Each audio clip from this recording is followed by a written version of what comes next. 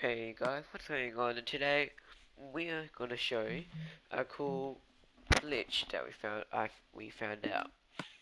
And in the glitch, you can basically duplicate almost any item. So, we hit the wall, I've been doing trophies in, and the main reason I got a bunch of trophies is because I found this cool glitch.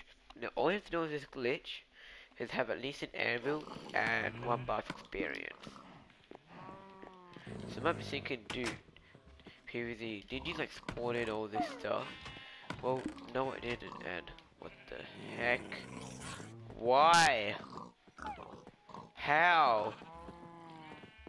What the hell? The heck, man? What? Oh my god. Give me a sec, guy. Alright, I'm back.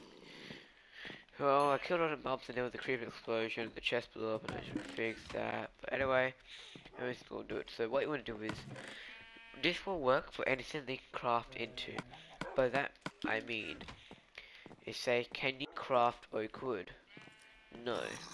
You can find it and stuff. But, if you wanna, you can, but can you craft wooden planks? Yes, you can. So, what you want to do is, you want to get a piece of oak wood,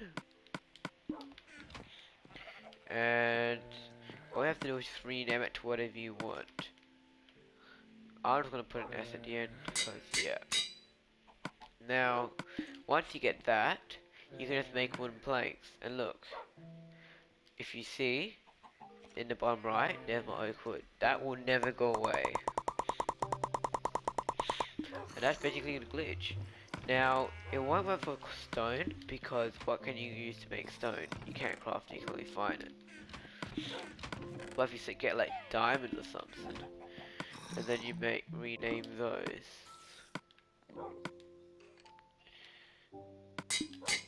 You can make like tons and tons of diamond blocks. Anyway, so that's the glitch. So hope you enjoyed today's video guys. Share your thoughts, subscribe, and I'll see you guys next time.